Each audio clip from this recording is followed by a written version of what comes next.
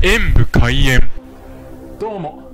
私のつれづれなる日常演舞さんですよね。はい。そのいうわけで本日はこちら。ファミリーマートのミルクココアを飲みたいと思います。カフェラテとかいろいろ出てる中のミルクココアもあったんですね。ココアはコーヒーとはまた違った味わいがあるのでそれが気になります。とストローが減るようになかなか出てきてくれないわ。では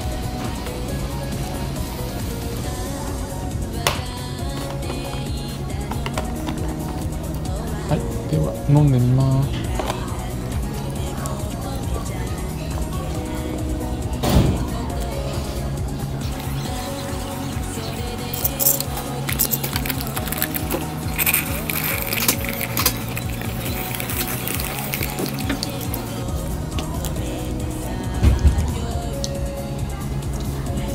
ココアなんですけど、ちょっと苦味が強いですね、これ。